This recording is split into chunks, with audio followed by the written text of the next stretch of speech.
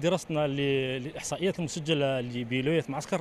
بما في ذلك حرائق السيارات ونحن مع الوقت معروف بارتفاع درجة الحرارة الشيء اللي يتجاهله كثير من السواق وهو احتراق السيارات.